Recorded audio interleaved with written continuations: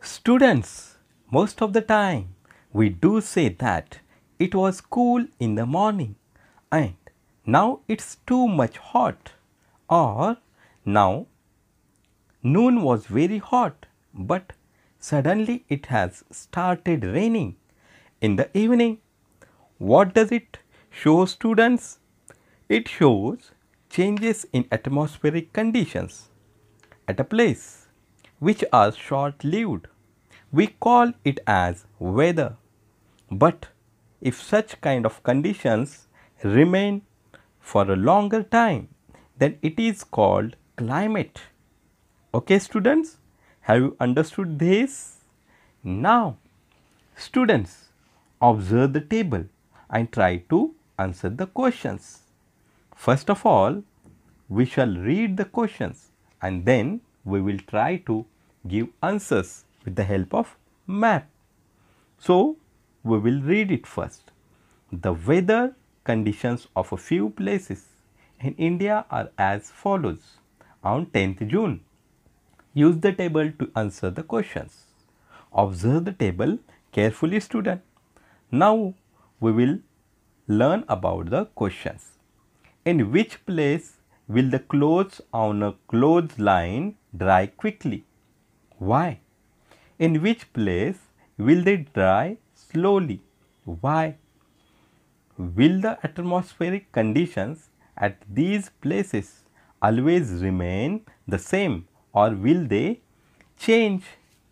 Before giving answer to these questions, students, we will have some information about it. Okay students? So, let us learn. In the table, three places are mentioned. First one, Kochi.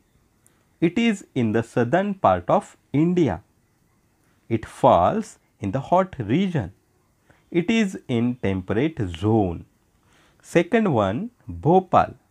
It is in the middle part of India from where Tropic of Cancer passes through. This region also comes under the hot region that is temperate zone. Third one, Mussoorie. It is in the northern part of India. It is located on 2005 meter high from the sea level. So, here we find the weather is cool in summer too. Now, we shall try to give answers of the questions. The first question, in which place will the clothes on a clothesline dry quickly? Why? Okay student, can you tell me? Type your answer in the comment box. Now, let me tell you. In Bhopal, the clothes will dry quickly because as I have told you before that the Tropic of Cancer passes through Madhya Pradesh and it is in temperate zone. So, the water in the wet clothes gets converted into vapor quickly and the clothes will dry within a short time. Okay student, have you understood? Now, the second question, in which place will it dry slowly? Why? Students, as I have told you before, Mussoorie is located to the north of Tropic of Cancer and located on 2005 meter high from the sea level. Hence, it is very cool place, okay, at the high mountain. So, it receives less solar heat. The air there is cool due to its location on mountain. Clothes take longer time to dry here because of cool air and mild sun. and Kochi is in between equator and tropic of Cancer and the month of June has started. So, here the weather will be cloudy and there will be moisture in the weather or air. Hence, it will take a long time for the clothes to dry. Okay, students, have you understood this much? Such kind of situations you may have observed at your place too. Yes, students, are you? You can tell me by commenting in the comment box if you have experienced such kind of situations at your place. Now, students, we will learn about the last question. Will the atmospheric conditions at these places always remain the same or will they change? Students, as we have studied the weather conditions of a few places in India on 10th June, we see difference in atmospheric conditions. In the same way, the atmospheric conditions go on changing. It will not remain the same. Okay students, I hope you have understood this much. Now, we shall move forward. Students, here are some of the statements related to the atmospheric conditions. Just you have to find out which one is applicable to you or have you experienced it today or yesterday at your place. First, it was cold in the morning. Second, in the afternoon, it became sultry or humid. Third, it rained suddenly in the afternoon. Fourth, cool breeze was blowing at dawn. Fifth, clouds gathered in the evening. Sixth, the night sky was full of stars and a pleasant breeze was blowing. Okay, student, if you ask me, I would like to tell you what I have experienced. See, it was cold in the morning, then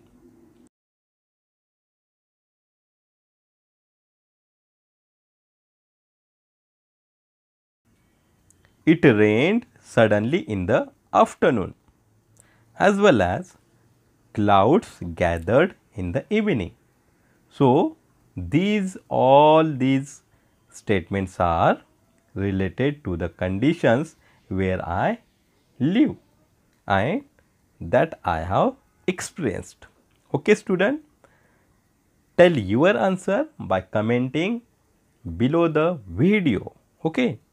Now students, students in the beginning of the video I have given you an example that we always say that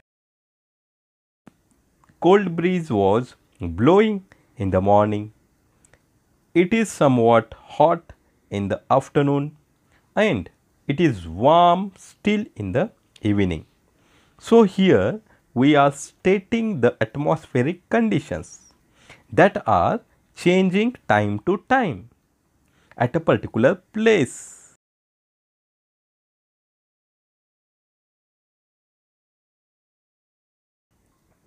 Such kind of atmospheric condition is called weather that are short lived. These conditions are short lived. For example, we say the weather is hot, cool, dry sultry or humid. Okay student have you understood what is mean by weather? Now we will study about climate. Now students since your childhood you have experienced many summers, rainy seasons and winters. Then can you tell me in which months do you find summer, the rainy season and the winter? Okay, can you tell me in which months all these seasons occur? Yeah, from January to December. Yes, student, can you tell me? You can type your answer in the comment box. Okay, now let me tell you. Summer, February, March, April, May. These four months. Rainy season, June, July, August, September. And winter, the months of October, November, December and January. Okay student, have you understood now? Now, tell me which special clothes do we use if it is raining? Yes student, can you tell me? It is very easy. Yes, very good. We use raincoats if it is raining. Now, can you tell me when do we use woolen clothes? Yes, again it is very easy. We use woolen coats in the winter season. Students, now it is the last question. In which season do we mainly use thin cotton clothes? Yes, in summer season we use mainly thin cotton clothes. Okay students, have you understood this much?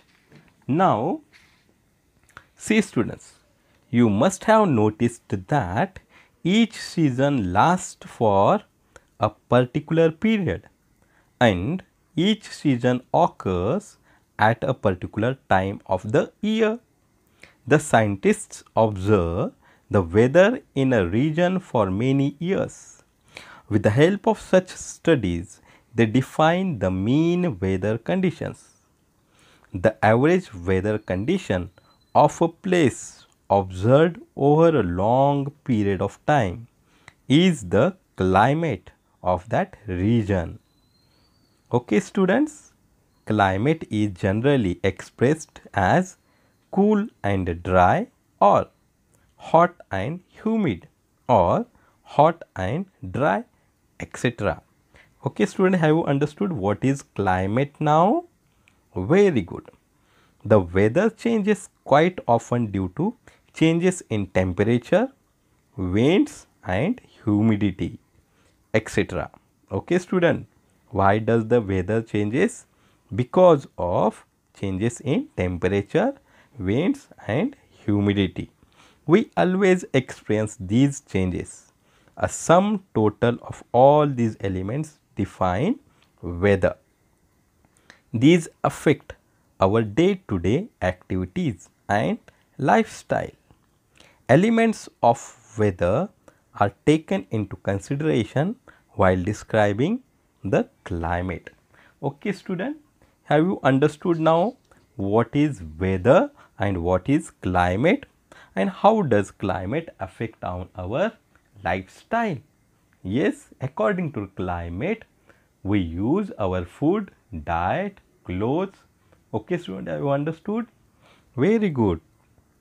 So, today we have learned about the weather and climate.